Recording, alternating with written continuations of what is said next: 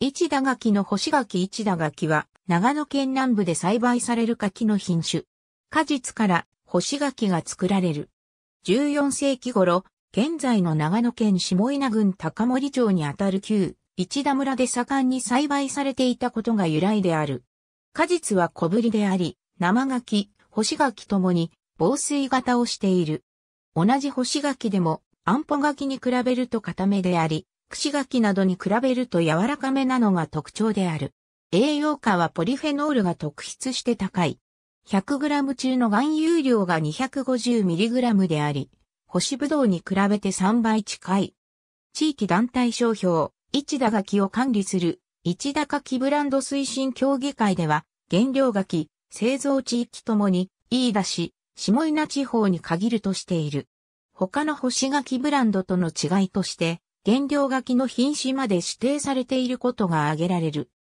かつては焼き柿として食され、1922年頃から市田柿の商標を名乗り、当時の下村総年団が販売を試みているが、本格的に1950年頃から有料系統を選び、市田柿に適した栽培法、訓情法などが普及、戦後干し柿として商品化が進められた。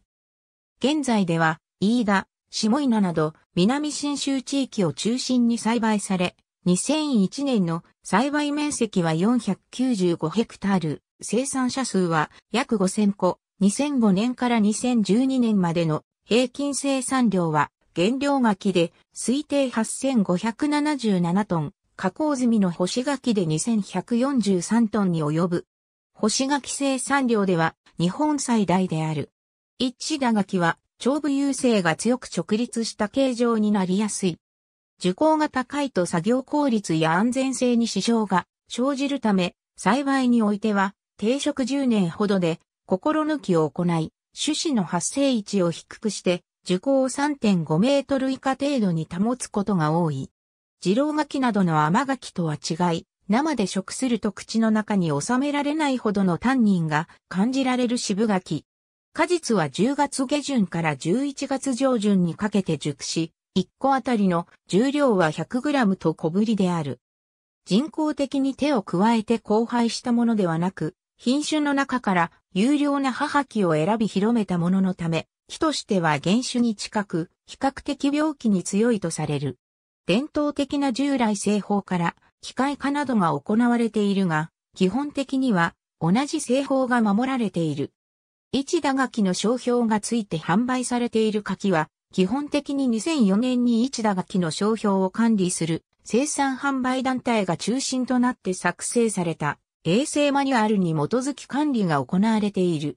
果樹園にて黄色から橙色に実ったところで収穫される。実は橙色になってもまだ硬く渋い。収穫は果樹の額の部分、ほぞとも言われる部分を残すように、また木を傷めぬよう、実っている方向と逆向きに転がすように回すと、ポロリと取れる。収穫した果実は、2、3日のうちに、すぐに加工されるか、あるいは冷摂氏2度、湿度90%程度に保たれたよ冷庫に保管され加工される。なお、収穫時期を逃すと赤く柔らかくなった粉しと呼ばれる状態になる。この状態になると干し柿にはならずまた日持ちもしないが、渋がなくなり非常に甘くなる。一般に流通することはほとんどないが、古くからはきな粉をまぶすなどし、あるいは冷凍して、シャーベット状などにするなどしても食べられることがある。ヘタの部分を残し、完全に皮を剥く。現在は専用の全自動、半自動と呼ばれる機械を用いて加工されるが、戦後直後までは戦銃と呼ばれる独特の刃物が用いられ、1980年代までは手回しの機械を用いて皮むきがなされていた。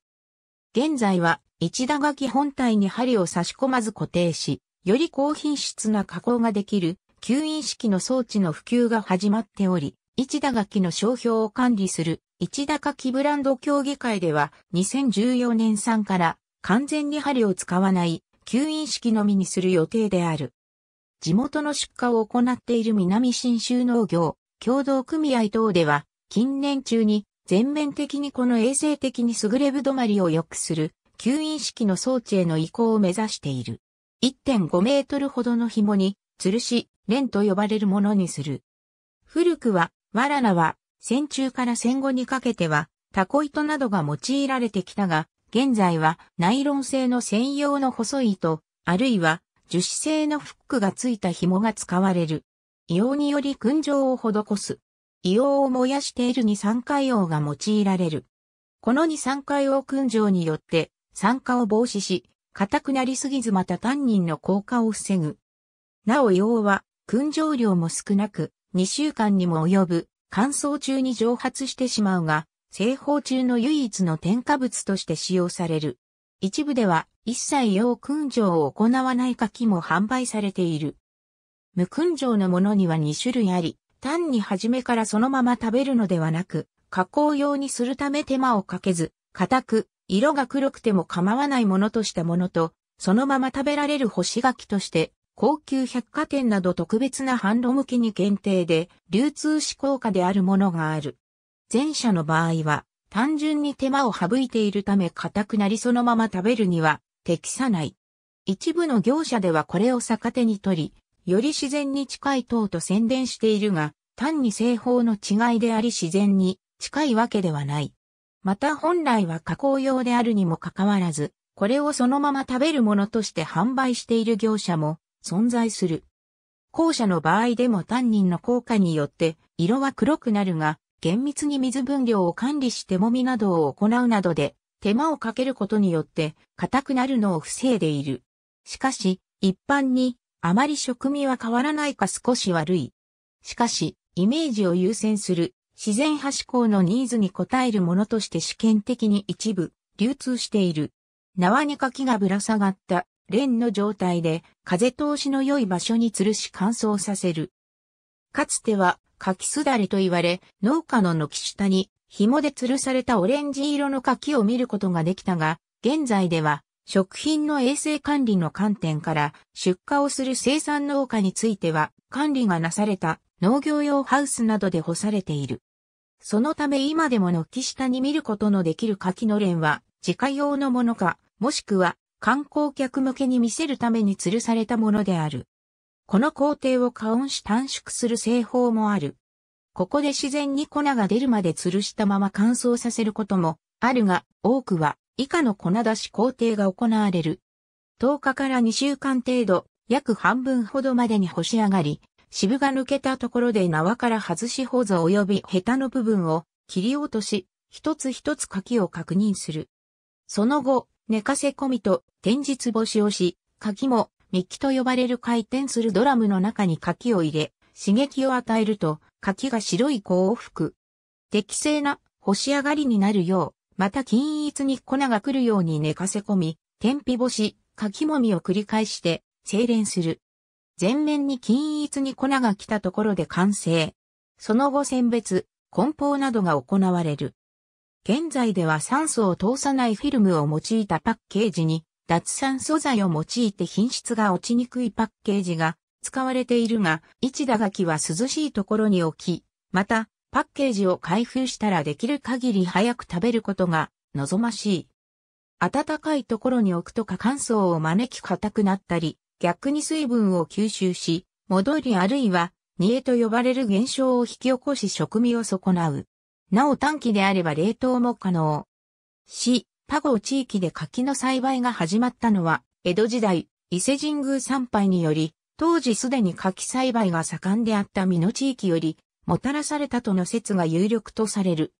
地元の萩山神社には、その社が残っている。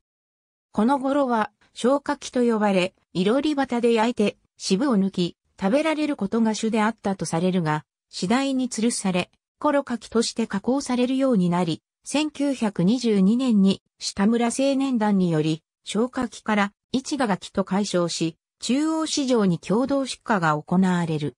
この時は失敗に終わるが、その後戦争を経て、戦後、出荷量は増加していく。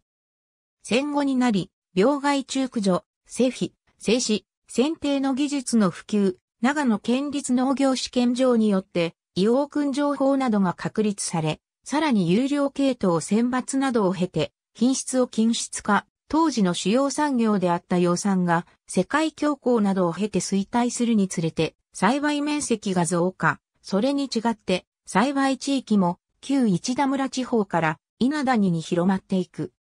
近年では火力乾燥法や消毒法、あるいは夏季加工乾燥に適した乾燥設備の普及、パッケージの工夫などによる販路の拡大などにより急成長。2006年には地域団体商標登録制度がスタートし、長野県で最初の地域ブランドとして認定を受けた。飯田市、下稲郡地域では元旦に食べた干し柿から出てきた種の数が多いほど、その一年で多くの富を蓄えることができるという言い伝えがあるため、新年を祝う席に縁起物として干し柿を食べる習慣がある。その他、和菓子などの加工用にも用いられる。加工には、切り込んで混ぜたような菓子のほか、その白く柔らかく、粉が来た見た目を生かした高級和菓子などもある。ありがとうございます。